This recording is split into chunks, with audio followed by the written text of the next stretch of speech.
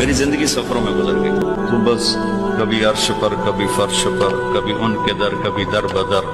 हमें आशिकी, तेरा शुक्रिया, मैं कहाँ कहाँ से गुजर गया।